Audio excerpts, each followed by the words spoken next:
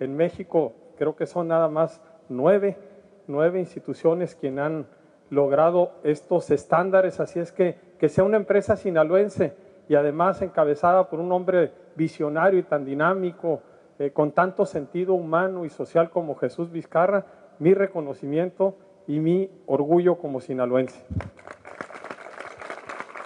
Y bueno, tener acá al secretario de salud que haya venido, a nuestro amigo José Narro, el doctor José Narro, realmente, miren, es, trae a Sinaloa en el corazón. Él es un hombre, es amigo, es el mejor aliado que tenemos los sinaloenses, porque en todo momento nos ha mostrado su disposición y sobre todo sus ganas de ayudar, de sumar, de ver cómo te ayudo.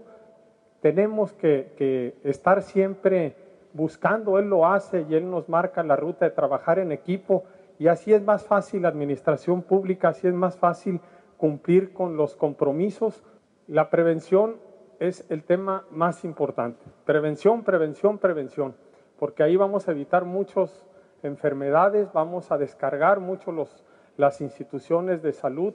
y realmente se tiene que crear y fomentar cada vez más el que haya, el que se estén multiplicando este tipo de, de instituciones